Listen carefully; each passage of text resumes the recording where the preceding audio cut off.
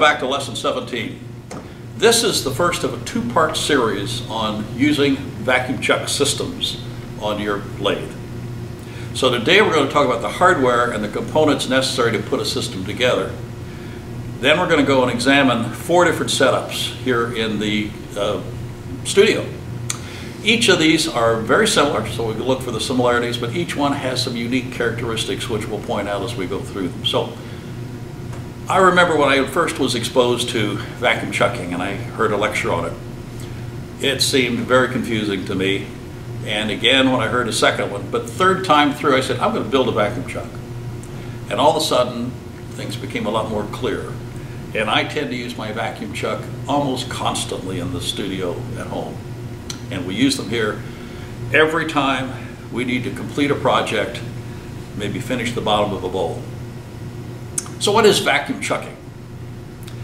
Well, air pressure in our location, and we are just about sea level here, under standard temperature and pressure is 29.9 inches of mercury, which doesn't mean anything other than a reading on a gauge, but it's 14 pounds per square inch of pressure pushing down on us at all times. What that means is if you ran a one inch square column of plastic from seashore all the way up to space and weighed the amount of air inside that column, it would weigh 14.7 pounds.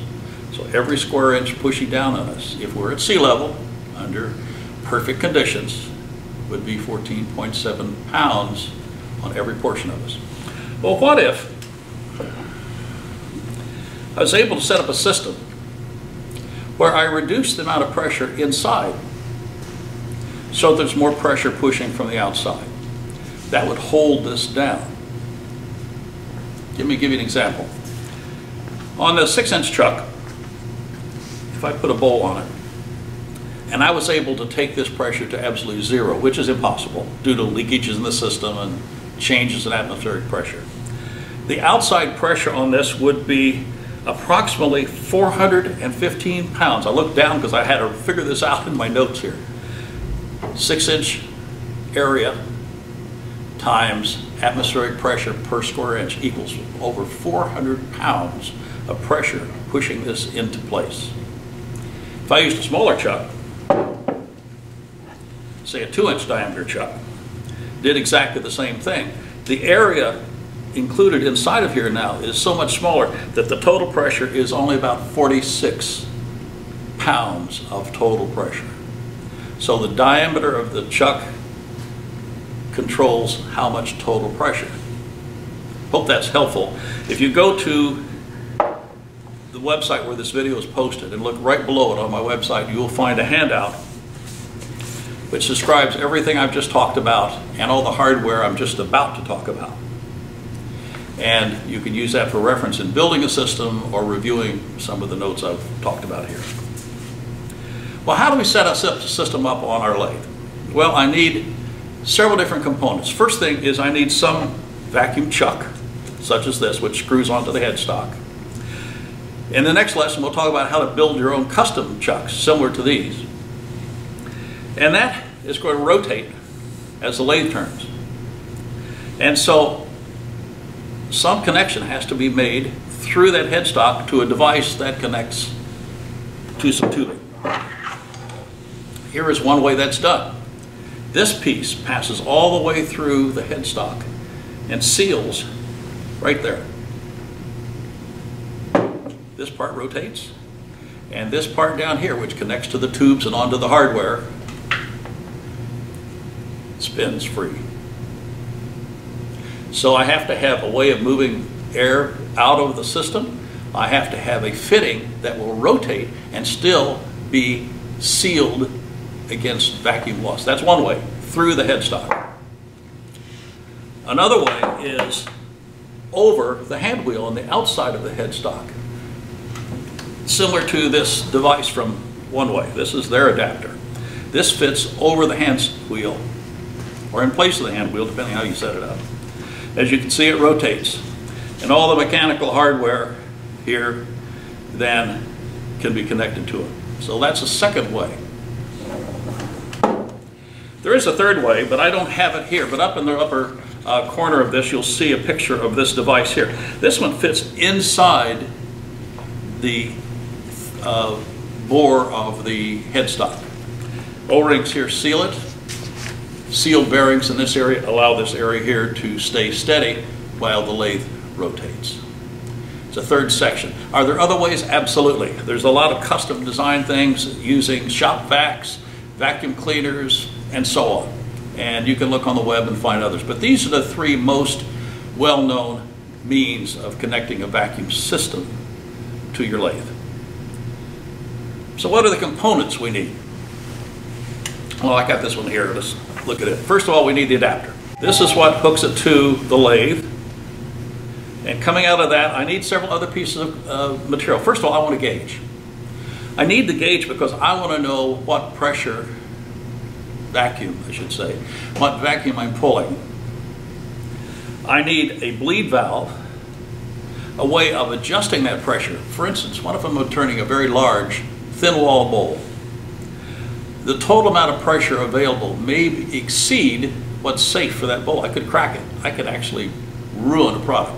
So I need to be able to bleed off some of the vacuum. And since this is sucking through the product into a pump, I want a filter in line. Uh, the ones I've been using are these inexpensive ones. They come in two packs. You can buy them at the discount hardware store, or even some of the woodworking dealers carry them. Uh, each, they're about two or three bucks a piece. So uh, they're the throwaway. And then from that, we go through some hardware into our vacuum pump. The fittings that screw all these things together. It would be good if you used all brass fittings that you got from the hardware store. For instance, this is called a quarter inch NPT thread brass. NPT stands for National Pipe Thread. And unlike the regular threads, this is slightly tapered, which means as we screw it down to the next component, it makes a very snug, firm, airtight fitting. So quarter inch NPT brass. What I'd like you not to use is any of these steel fittings. They don't um, connect as snugly as the brass do. The second thing, from our, from our compressor systems, we use a lot of these quick disconnects. Try not to do that either. They do not make perfect connections. In a, in a vacuum system, we're trying to maximize every little bit we can. So avoid these as I said, you had to have a valve. This is the kind that I have in my system right here, closed, fully open, easy to see, quarter inch NPT fittings on both ends. I bought this one from one of our discount dealers. I thought it was going to be really fine. And I put it in the system, I checked it. And while it opens and closes very nicely, in the closed position, it still leaks a little bit. I can put my finger over the end and feel the vacuum being sucked. So this is a discard.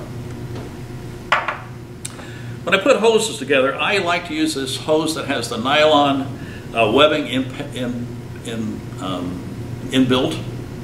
Couldn't think of the right word. It doesn't collapse. It won't kink. And when I put it together with a fitting on the end, I use these hose barbs like this. I push them into the hose and then I put a clamp around to hold it even tighter. So this is very, very well secured. You don't have to use quarter inch, you can use 3 eighths, and there are adapters from 3 eighths to quarter. If you go to the hardware store, you'll find all the pieces you need. The list is in the handout of what you need to put a system together. So I think the best thing to do is for us to put this system actually together. Uh, hook it to the pump on one of our systems. My pump actually is right over here. It's in this wooden box. At home, I've decided to put that in a wooden box just to keep the chips away from it. And since it's enclosed, I'm concerned about heat buildup, so I put a little fan in it. And to make it easy to turn it off and on, I made up a little box with some permanent magnets on the back. Just sticks to the end of my lathe. The second plug here allows me to plug some accessory in like a sander or something. The bottom is switched to turn my vacuum pump off and on very easily. So this is all the components. We have an adapter, we have valving, we have a gauge, we have a filter, and hose to connect up to a pump. So let's take this over to that old Powermatic behind me and put the system together and show you how it works. I have to find, for this adapter, the correct insert. For that old Powermatic behind me, it doesn't have any threads on the hand wheel, so it takes a special adapter like this, and we'll screw that into here. For my other lathe, the Woodfast I have, it has a threaded hand wheel, and it takes this adapter. So for each of the systems, there may be some customization necessary. For these kind, the correct insert. For this kind, it's important to know the ID of your hand wheel hole. And it varies from lathe to lathe. So when you order this, you simply specify the model of lathe you have, and they'll give you the right piece. So let's step back to that old Powermatic, put all these pieces together, and show how this system actually works. I've moved back to the old Powermatic. I set the vacuum pump up on the counter behind. Generally at home it'd be on the floor. This is that power extension I had. Plug the pump into that. Sits on the end of the lathe on a permanent magnet. So now to install the rest of the system, I have to remove the hand wheel. And that means I loosen these two set screws and pull this off. On this particular lathe, the shaft is straight. And I've installed an adapter in here that slides onto that there is something to be considered. Now this is an important thing. This shaft has a slot in it for the set screw to sit in. If I screw this adapter on, that slot is going to proceed all the way through the end and it's a potential leak. So what I have done is in the base of this I've dropped an O-ring. So when I slide this on, it's going to seal right to the end of the shaft. So now I'm going to put it in place, slide it on, and I know this is a four millimeter screw. tighten it down. And I think there's a, oh, just the one, okay.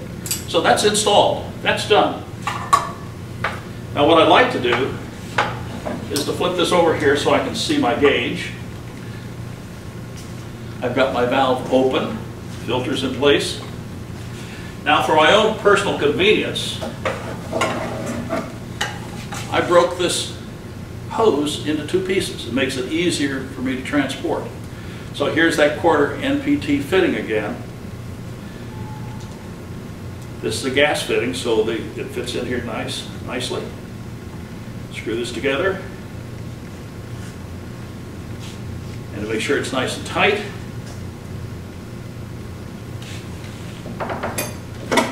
take a small crescent wrench give us just a little bit of a snug. So the system's together, it's done. So on the other end is going to be a vacuum chuck. And I'm going to step down to the headstock side and we're going to begin to operate this a little bit and see what a vacuum chuck actually does.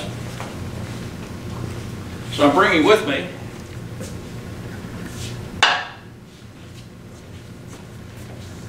two different size vacuum chucks. Both fit this lathe. And I have a little rubber test piece, which I use a lot to see whether or not the system is fully functional. So let's turn it on and see what happens. Right now, no vacuum. We close the valve. Seal the spindle. And I'm pulling about 23 inches of mercury. So given the atmospheric pressure and the inefficiency of the system, that's, that is my maximum I can get. And as I open this valve, there's 15, there's 5, and by bleeding this I can adjust the amount of vacuum. So let's put the large chuck on.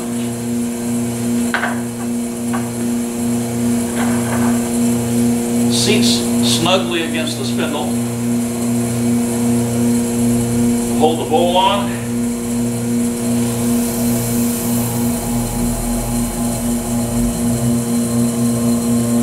Now given the perfection of finish on that bowl and the quality of that chuck,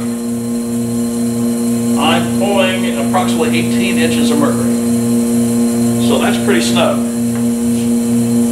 That's not going anywhere. For me to get it off of there, I have to open the valve. Let's take this one off and put the smaller chuck on. Remember I talked about less square inches, less pressure.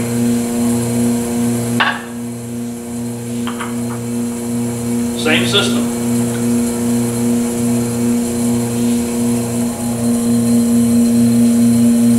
Now because I'm holding vacuum in a smaller area, less surface for it to leak, believe it or not, I actually have 21 inches of mercury, but I only have it over a small area like this, so the total amount of pressure in that bowl is far less. Can I get this off? With a little bit of force, I could pull it right off because there is less atmospheric pressure pushing it on. How the system works.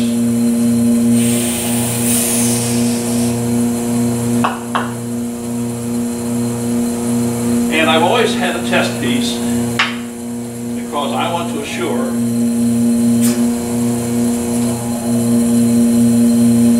what the maximum uh, vacuum is I can pull in this particular system. Where's the leaks in my plumbing? Where's the leaks in my valve? Leaks in my headstock?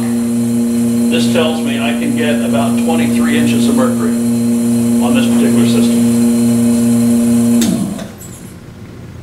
And because the pump releases the vacuum quickly, that piece of rubber would have fallen off there in about two seconds. This is a vane type pump. There's a vane that's rolling around in here, pulling the air through, and it creates a certain amount of noise. There's vibrating diaphragms. There's oil bath pumps. I'm going to show you some of those other options uh, as we go around the studio and take a look at some of the other systems we have installed here. So we're going to go from here to our demonstration lathe, which is a Oneway lathe, set up with a very similar system. Now that we've identified these components, let's see what a professional system looks like. I think you'll see all the same pieces in the same place. So we're going to move to another location. Be back with you in a minute. I've stepped up to our demonstration stage and I want to show you the same system, different components. Here's the vacuum pump mounted permanently to the side. It's a bigger pump than I have. So it's going to pull more vacuum, more CFM, cubic feet per minute. If you have one that has very low CFM, and you have a project that leaks a little bit of air, you're going to need to make that up in volume. So bigger pump, same kind of tubing.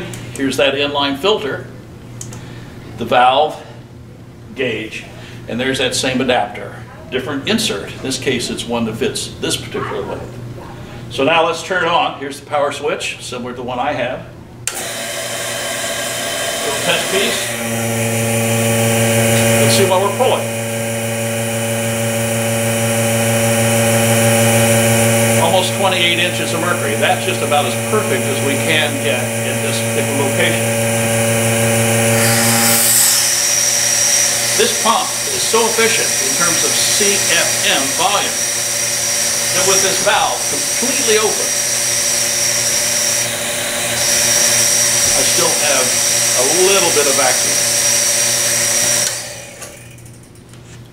Another system. So, professionally installed higher volume allows me to deal with products that may be more porous or have, let's say, a bark inclusion or some holes in it that need to be uh, compensated for. Let's take a look at two more systems, each one of which is a little custom built. And we're going to go to the other Powermatic we have, and I want to show you another uh, home built system. Different Powermatic, different headstock. This is threaded. So the hand wheel screws on. The person here manufactured a piece of plastic which they screwed to the hand wheel with a foam seal behind it. And there is a double seal rotary bearing that you can get at any machine tool supplier. They're called double sealed bearings. So the plastic on the outside is designed for that just to fit in. The inside rotates. Here is the tubing, vacuum pump, valve, filters are mounted on the pump in this case. And the valve is a screw type valve in this case. O-rings been put around this piece of plastic nipple and a lily can be pushed in like that. Things I would do differently, if, if I had built this system, I would have not used one of these quick connect uh, vacuum uh, pressure regulators. I would probably put on a larger gauge, it would have been easier to see. But outside of that, it's a pretty darn good system. Because the way this hand wheel fits on here, I had to take the hand wheel off and put an O-ring on the inside when I screwed it back into place to get a good tight seal. See what it does. Noisy system.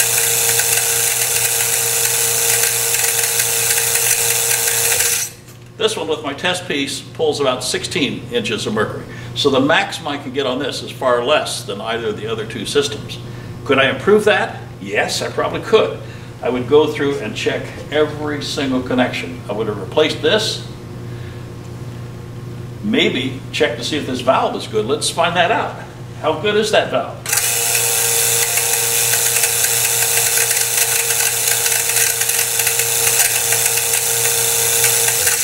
When I put my finger over the valve, was totally closed. I could feel it being pulled in very slightly, which means that there's some leakage. But when looking at the gauge, I couldn't see the needle move. So the amount of leakage in that valve is very minimal. System works just fine, especially we have students doing larger bowls, don't need that much vacuum, need large chucks. So let's go to one more lathe, or go to the JET 16 EBS, which brings up a couple of other interesting issues. We'll step back to that lathe. Here's the last system I want to show you. This takes a diaphragm oil-based pump. Uh, this one comes from Harbor Freight. Uh, they avail have available in two sizes, a two and a half and a three and a half CFM pump.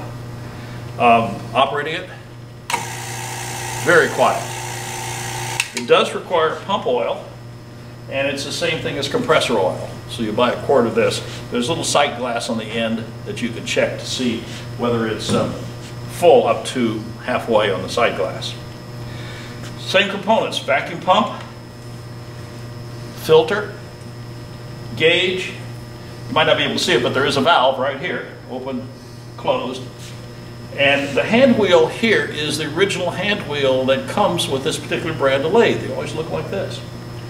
But the inside has been fitted with another one of those double seal bearings. All we had to do was to take this hand wheel, open it up just enough we could jam one of these bearings in here. And then we simply plug this in. And there's our system. Power on. Plug it together. I've got the valve closed. Test piece. Let's see what we can do.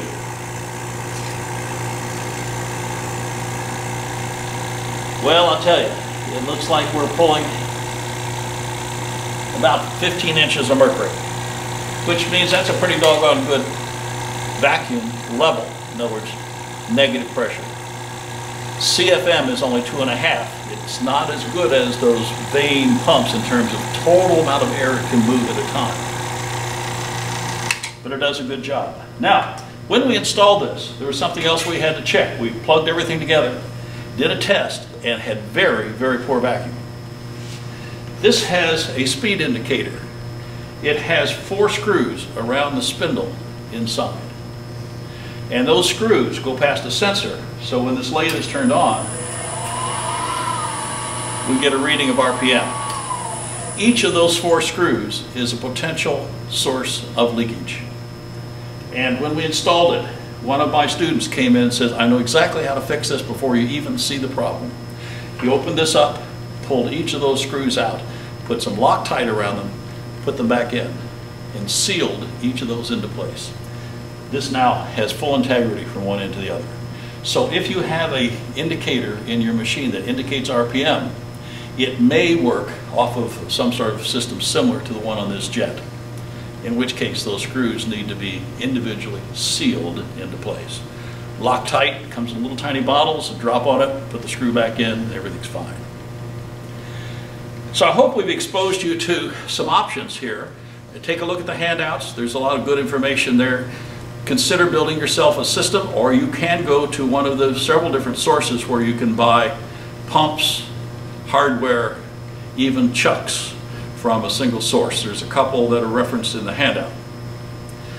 Next lesson, when we come back, yeah, we can buy commercial chucks, and I do use some.